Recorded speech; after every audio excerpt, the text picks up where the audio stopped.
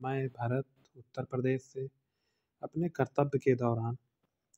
भविष्य में और पढ़ाई करने के लिए मैंने अमृतसर का युक्ति आई एस ज्वाइन किया, जिसके माध्यम से मुझे अनेक प्रकार की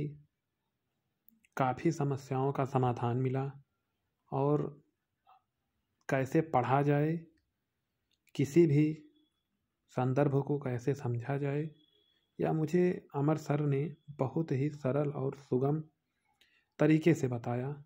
अखबार को किस तरह पढ़ना चाहिए, अखबार में पढ़ने योग्य क्या है, जो आपके भविष्य में नौकरी के दौरान काम आए, चाहे वह आई की तैयारी कर रहा हो, कोई आईपीएस